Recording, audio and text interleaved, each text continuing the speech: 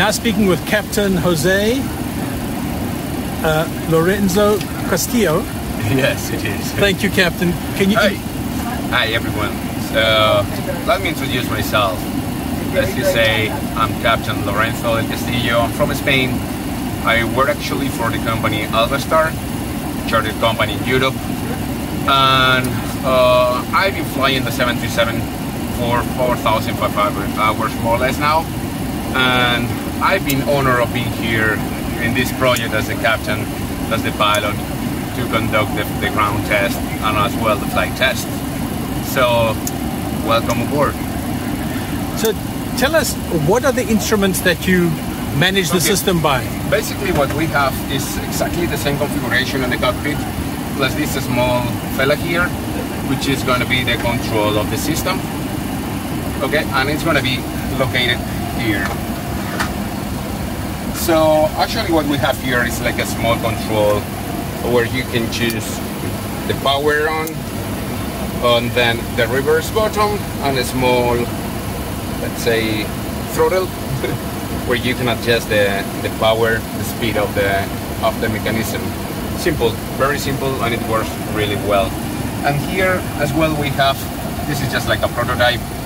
Uh, this is the with that vision where we have a 360 uh, view around the plane.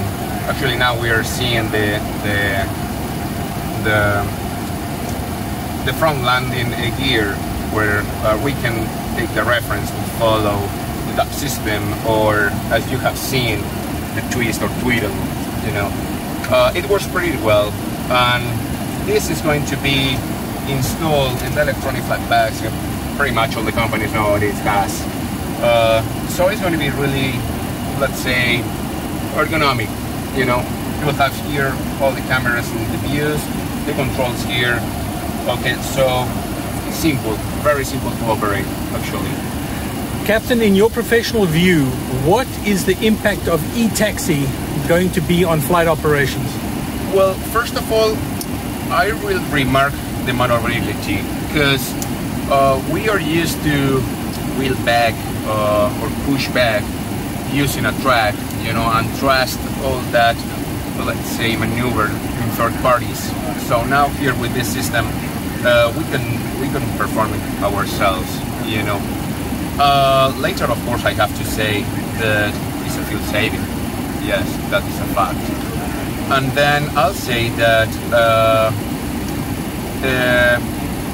I mean, the noise here on ramp. I mean, there is a lot of facts, you know, that that are uh, okay, that are good, you know, here in this, this system.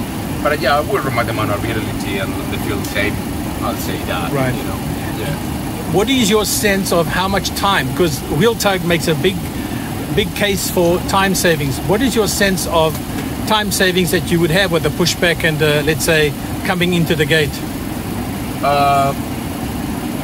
Who work in the aviation, like you know, like like us, we are used to also to be waiting for some uh, the track, the pushback track, or you know the clearance or something. You know, suddenly you have a fella on the right or the left who has already the pushback track, and you have to wait.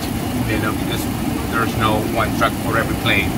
So with this system, that you have is the chance to not having delays in that aspect. For example, you know, uh, and then you, you know, when we push back the plane, we have to spend at least I don't know three, four, five minutes, you know, uh, starting the second engine, or you know, in this case, it's a 737, the second engine, or you know, you have to disconnect the, the tow bar, the track, you know, let all the the, the, the area clear, Right. you know.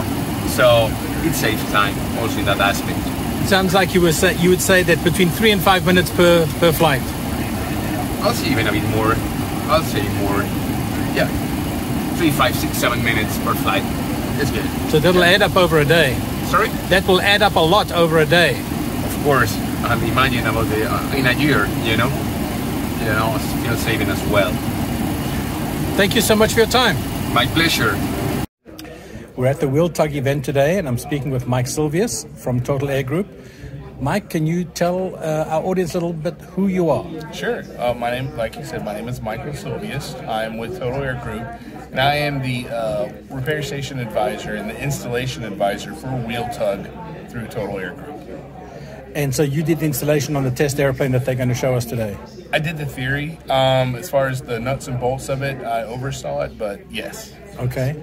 How long does it take to do an, installation like this on an airplane? So what we've done, we've broken the installation down to two overnight visits for the airliner. And that would minimize ground time. And, and in a perfect situation, what we would do is we would roll that into, say, a, an overnight check or, or even an A check, and then do it in conjunction with that check so you, you do not lose any revenue time with the airline. And how? What are the steps involved? Because there's electrical plumbing and Right. there's wiring and stuff. Right. Can you explain how that works? It's please? actually fairly easy. So we tap um, we tap ship's power from the APU system in the ED compartment.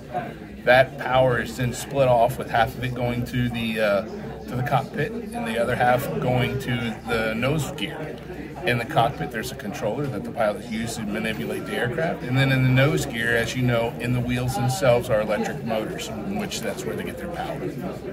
Can you give us an idea of, in time wise, how long this process takes? As far as the installation goes, um, I think our goal is to get it down to around, as far as time goes, around 16 hours, around 40 man hours. Right. And to take them off again? The same. So actually, it might be a little quicker. We haven't done one yet, but um, I would assume the same, if not just a touch quicker. There's no permanent modifications to the aircraft. It's all very temporary, very superficial. Um, the system itself weighs 300 pounds, so it's really negligible.